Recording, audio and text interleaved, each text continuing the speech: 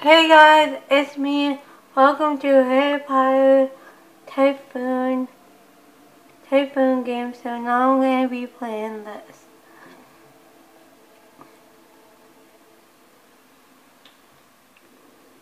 So you have to build your own Harry Potter